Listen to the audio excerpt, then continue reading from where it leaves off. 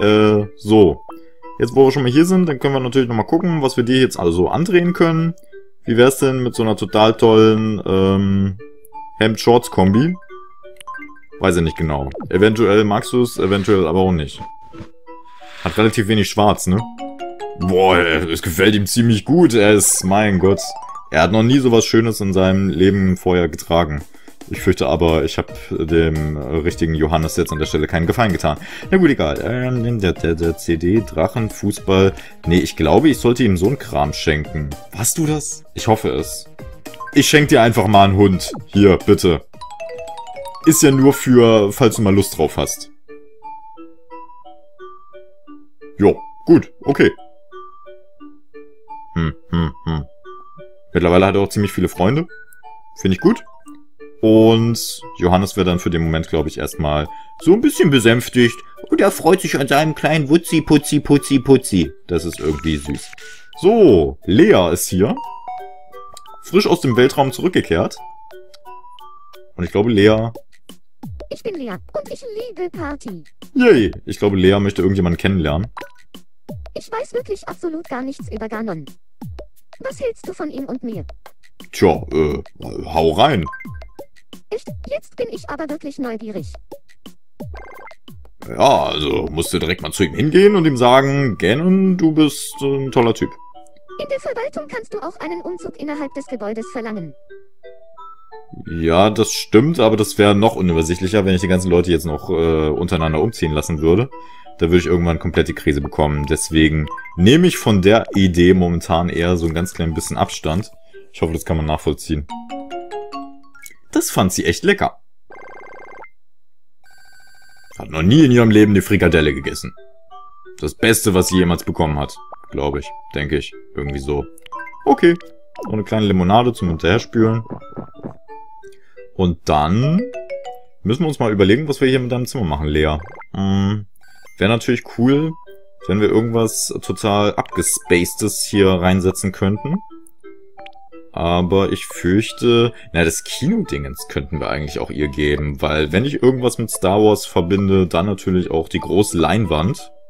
Von daher, probieren wir es doch einfach mal aus. Danke für die neue Einrichtung. Hat eine Menge Stil. Denke ich mir auch so. Übrigens, willst du dich vielleicht noch etwas umschauen? Ja, klar. Boah, da läuft genau der richtige Film auch noch. Hier. Boah, äh, Kampfstern Galactica, äh, Star Wars Gedöns, Dingens hier. Pui, pui, pui, kapui, kapui. Das ist, äh, der Wahnsinn. So, wo schläft sie dann ab sofort? Immer direkt vor der großen Leinwand, ja? Und links und rechts sind dann noch so Zuschauerringe, wo man sich theoretisch hinsetzen könnte. Da hat man jemand ein bisschen Popcorn irgendwie Eine so. neue Einrichtung zu bekommen ist so aufregend. So aufregend. Äh, ja.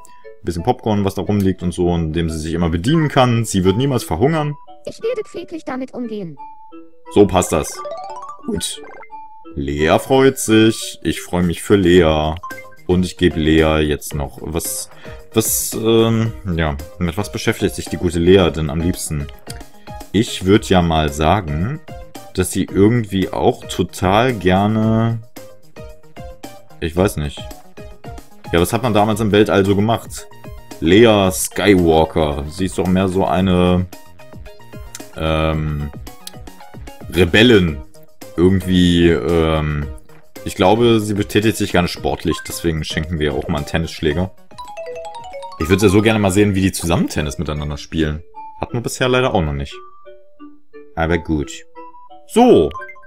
Wollen wir dir noch irgendwas anderes schenken? Wie zum Beispiel was Schönes zum Anziehen oder so. Das Leoparden-Sweatshirt. Das ich übrigens nicht gedacht hätte, dass es ausgerechnet für Frauen ist, aber okay. Strickjacke Rock-Kombi. Irgendjemand hat mir gesagt, das soll äh, total alte Oma-mäßig aussehen. Finde ich interessant. Hätte ich gar nicht gedacht, aber je länger ich es angucke, desto mehr kann ich es nachvollziehen. Hm. Oder eher so eine süße kleine Tropenkleidung. Ich meine, Lea kann sich ja quasi gesehen hier auch wie im Urlaub fühlen, oder? Deswegen. Deswegen geben wir ihr einfach mal so eine Tropenkleidung. Das passt schon. Besser als das, womit sie momentan herumläuft, denke ich mir zumindest immer so. Es gefällt ihr total gut. Also wenn sie jetzt mal nicht stylisch ausgerüstet ist, dann weiß ich auch nicht. Bitte sehr, ein kleines Dankeschön. Das wäre doch nicht nötig gewesen, Lea. Hypnose-Set. Okay, wäre wirklich nicht nötig gewesen. Na gut. So, dann noch viel Spaß in deinem Kino. Lea ist auf dem Aussichtsturm. Ja, wie jetzt? Und der Film? Na gut, es, es wird immer dieselbe Szene gezeigt. Ich glaube, das ist ein bisschen... Hm. Hat was von Space Invaders, aber selbst Space Invaders hatte mehr mehr Handlung. Gut, lassen wir das. Irgendwie finde ich das beängstigend, wenn Ghostface so durch die Gegend äh, herumstolziert.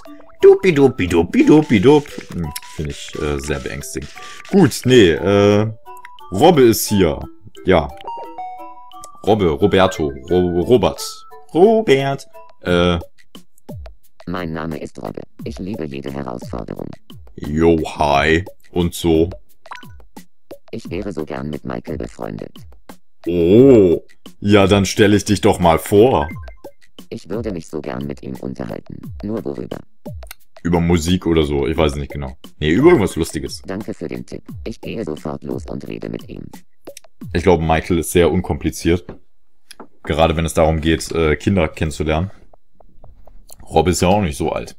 Passt schon. Übrigens, Entschuldigung, ich bin jetzt gerade gegen das Mikro gekommen auf eine gewisse andere Art und Weise nicht Entschuldigung, weil äh, ist irgendjemandem aufgefallen, äh, hoffentlich zumindest, die Soundqualität äh, dieser Videos müsste jetzt wieder einigermaßen besser sein. Zum, an, zum einen habe ich das mit meinem Grabber hinbekommen, zum anderen benutze ich ja ab sofort für meine LP-Aufnahmen. konnten wir uns miteinander anfreunden. Vielen Dank. Für meine LP-Aufnahmen benutze ich ein neues Mikro. Von daher hoffe ich mal, dass es so einigermaßen okay ist. Bitte sehr. Ein kleines Dankeschön.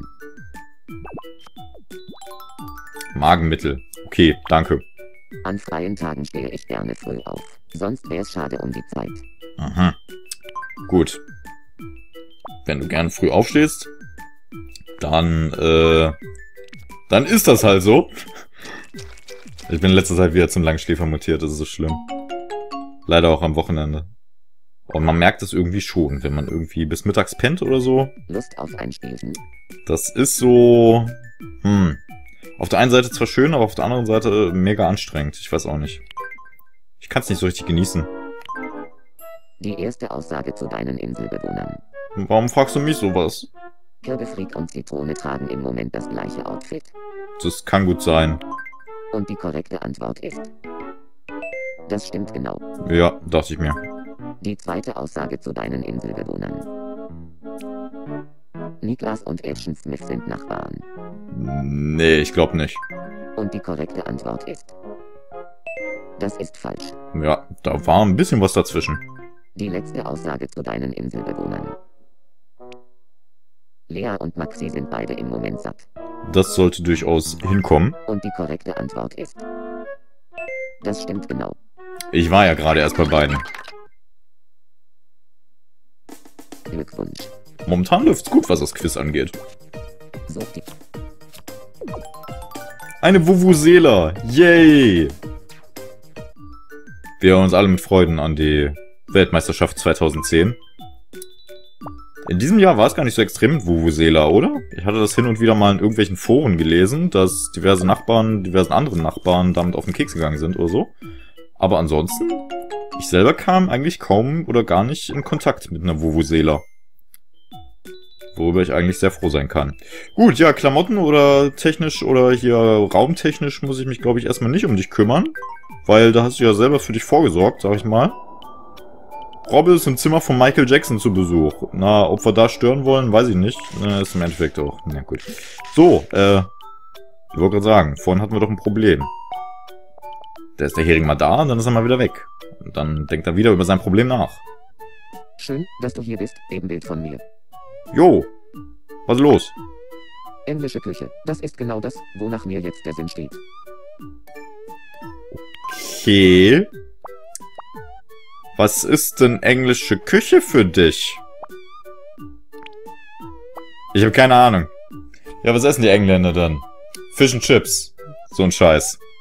Keine Ahnung. Ähm... Ich weiß, dass Engländer auch so ein komisches Puddinggedöns essen, aber jetzt nicht Panna Cotta, oder? Ich habe keinen Schimmer. Ich habe nichts anderes. Nimm hin und erfreu dich daran. Okay. Zumindest weiß ich jetzt, was ich niemals in meinem Leben essen sollte. Gut zu wissen. Das fand er absolut abscheulich. Bupidub. Äh, Ich find's echt schön, wenn du mich besuchen kommst. wenn ich nicht gerade versuche, dich zu vergiften, ne? Ja, ich glaube auch. Komm, äh, darauf erstmal eine Frikadelle. Ich glaube, das könnte eindeutig mehr auf deiner... Ja, genau. Das fand er absolut lecker. Alles andere hätte mich auch gewundert. Gut. Hätten wir das Malheur von eben, also quasi gesehen, abgewendet. Und dann können wir uns jetzt stattdessen mal darum kümmern, dir eine wunderschöne Melone zu geben. Ich stehe auf die Farbe Blau so sehr. Das gefällt ihm schon ein wenig. Okay. Na, immerhin so ein bisschen. Dap, dap, dap. Gut. Und wollte ich, wollte ich dir auch nochmal ein neues... Ja. Hm. Ein neues Zuhause geben? Ich weiß nicht genau. Dieses Cartoon-Dingens. Ist es dasselbe, was Robbe hat? Danke für die neue Einrichtung. Ich finde sie wirklich gut. Hm. Übrigens, willst du dich vielleicht noch etwas umschauen? Ja, klar. Doch ist dasselbe, was auch Robbe hat. Okay, alles klar, gut zu wissen. Ja, ein bisschen abstrakt und so, ne? Aber irgendwie, es hat einen, es hat einen sehr urigen Charme. Kann man sich durchaus, Ich werde pfleglich damit umgehen. kann man durchaus dem Hering mal geben. Und es sorgt auch dafür, dass der Hering einfach mal so ein neues Level erreicht. Okay, gut. Ähm, ach so, ja. Äh, neues Lied oder so? Was haben wir noch? Rap, Oper, Techno. Techno, bum, bum, bum, bum. Nee, ich will mir die Oper mal anhören. Eine Opernarie. Ach nein.